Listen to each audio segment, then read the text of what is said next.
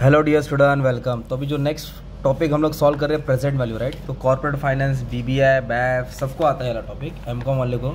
इधर क्वेश्चन क्या दिया? मैंने क्वेश्चन पेपर में था तो क्वेश्चन उतार दिया। इन्वेस्टमेंट दिया तीन लाख पच्चीस। मतलब हमने तीन लाख पच्चीस इन्वेस्टमेंट किया है और पाँच साल का इन्फॉर्मेशन दिया कैश इनफ्लो मतलब पैसा का आवन, पैसा आ रहा है। हर साल अलग अलग पैसा अमाउंट आ रहा है। और अपने को डिस्काउंटिंग फैक्टर दिया है। डिस्काउंटिंग फैक्टर कितना दिया? ट्वेल्व परसेंट दिया राइट तो ट्वेल्व परसेंट का ना आपको रेट निकालने आना चाहिए। तो ये फैक्टर कैसे निकालते हैं? आ जाओ।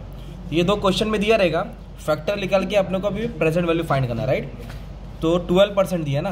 तो एक्स का रूल क्या है? One upon one plus R. P V factor का रूल है।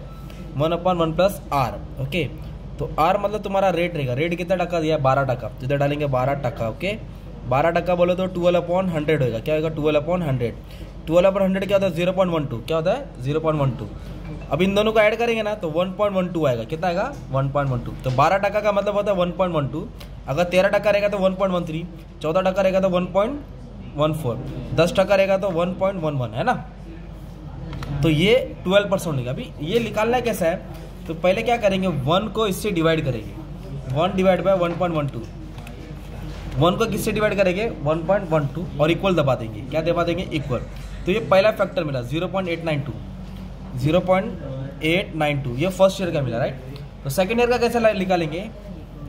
One divide by one point one two करके, मेरे को फ़र्स्ट वाला है ना?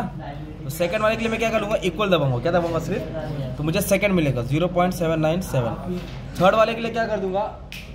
थर्ड वाले को फिर से इक्वल दबा दूँगा। तो zero point seven one one फिर इक्वल दबाऊँगा तो फोर्थ ईयर का मिल जाएगा।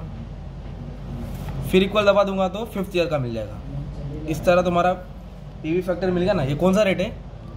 बारह। एग्ज़ाम में ज़रूरी नहीं कि बारह परसेंट आएगा कुछ भी रेट चेंज आएगा ना तो आपको निकालना आना चाहिए ये तरीके से, ठीक है? अभी अपन प्रेजेंट वैल्यू निकालेंगे। क्या निकालेंगे? इसको इससे मल्टीप्लाई करने का तो ये नंबर है मेरे पास। इसको चालीस हज़ार से मल्टीप्लाई करूँगा। तो मान लो इतना है। Two six double two six nine seven. Double two six nine seven, है ना? वैसे इसको इससे क्या कर देंगे? मल्टीप्लाई कर देंगे सबको। पच्चीस हज़ार को मल्टीप्लाई किया पॉइंट एट नाइन टू तो अपने को वैल्यू मिला बाईस हज़ार तीन सौ।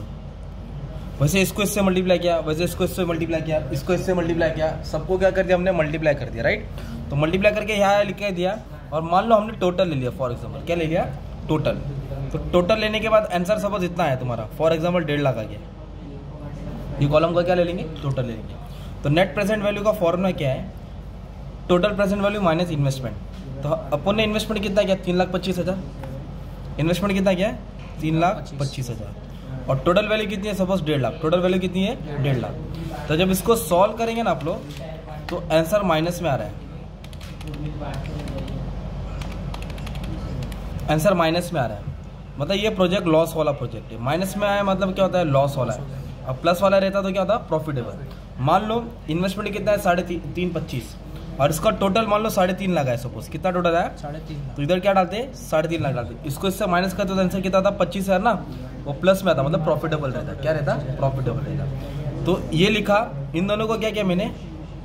मल्टीप्लाई करके। ये आएगा कॉलम इसका क्या लेने का? टोटल टोटल और ये वाले में डाल दो फॉर्मूले में।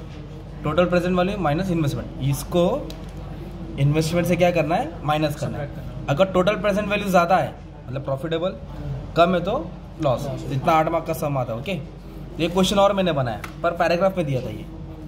कैलकुलेट प्रेजेंट वैल्यू बोला, दस लाख, बीस लाख, तीस लाख। रिसीबल मतलब आ रहा है। पहला ईयर दूसरा ईयर तीसरा year at the rate of ten percent तो आप लिखेंगे एक, दो, तीन। क्या लिखेंगे? एक, दो, तीन। कितना है? दस, बीस, तीस। दस, बीस, तीस। फैक्टर कितना है? टेन परसेंट तो टेन परसेंट आपको बनाना पड़ेगा ना? One upon one plus R R बोले तो कितना? दस टका। दस टका बोले तो टेन अपॉन हंड्रेड है ना? टेन ज़ीरो पॉइंट वन मतलब वन पॉइंट वन क्या आएगा? तो कैल्सियम में डिवाइड करेगा one divide by one point one तो ये आएगा पहले वाले का फिर दूसरा वाले का आएगा तीसरा वाले का आएगा। फिर क्या कर देंगे? मल्टीप्लाई करके टोटल लेके छोड़ देने का था। सिर्फ़ वैल्यू फाइंड करने का था। इन्वेस्टमेंट नहीं दिया तो टोटल लेके छोड़ देने का। इन्वेस्टमेंट दिया तो टोटल करने का। इन्वेस्टमेंट दिया तो माइनस कर देने का। नहीं दिया तो इधर टोटल लेके छोड़ देंगे। तो ये भी सम तुम्हारा सॉल्व हो गया ना। मतलब सात मार्क का एक सम आएगा एग्ज़ाम में सात आठ मार्क का। तो आठ मार्क तुम्हारा जमा हो गया। क्या निकालना रहेगा? नेट प्रेजेंट वैल्यू तो डिस्काउंटिंग फैक्टर निकालने आना चाहिए ठीक है? Thank you